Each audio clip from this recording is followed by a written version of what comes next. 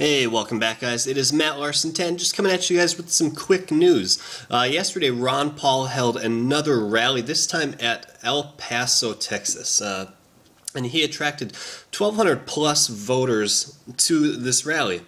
You guys are looking at some of the photos right now. Uh, these are just the two that I got off the Ron Paul website. I haven't seen many other up on Facebook or anything like that yet, guys. So if you have any photos, contact me. Uh, I'll be sure to get them up in the next video. Also, today, Ron Paul is holding another large on-campus town hall meeting at the University of Texas in Austin.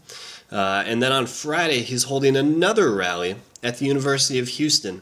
And basically, guys, details of all these uh, campaign events can be found on ronpaul2012.com. You can RSVP on there. It's completely free. Please go out there and support Ron Paul, you guys. This is the time where it is starting to really matter most. Newt Gingrich has unofficially uh, suspended his campaign May 1st. He will be out of it, and he is more than likely to endorse Mitt Romney. So we need to just stand behind Ron Paul, you guys, right now. Unite behind him and just show him we're not quitting on him because he's not quitting on us. There's no time to really uh, uh, slack on stuff like this, guys. If there's ever an event in your state that is near where you are, try to go to it if you have time if you're not at work or taking care of kids or something like that uh, this is important because when even when we're not getting any press, I guarantee you, if Ron Paul does have an event that does not fill out, that is when the press will cover it. They'll say Ron Paul couldn't even gather enough support to fill a 4,000 person stadium or auditorium or just something like that. They'll find a way to spin it, guys, to make it look like Ron Paul is not truly